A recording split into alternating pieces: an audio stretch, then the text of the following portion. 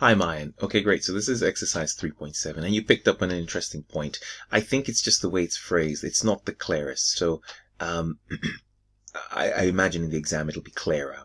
Here it says, as you kind of, you'll see here, it says here that the business pays for pays for 80% of its purchases in the month in the month immediately following the purchase. So I know what that looks like. That looks like um, it pays for 80% of its purchases immediately in the month. If it said that, if it said immediately in the month, though I could kind of, but it's saying in the month immediately following the purchase. And th- I think this is the second clue in the remaining month, in the second month.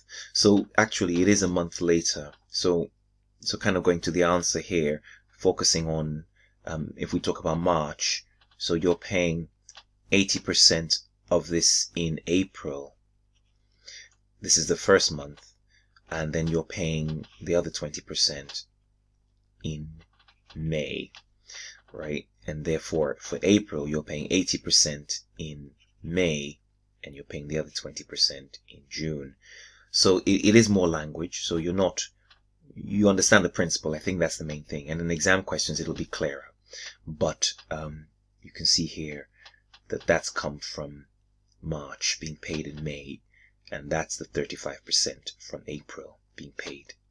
Sorry, that's the 35. That's the, that's the 80% from March being paid in April, and that's the 80% of April being paid in May. So I think it's just a language thing. I think it's just a language, um, oh, sorry, a written language. The way it's written, it, it, it wasn't very clear. The exam questions should hopefully be clear.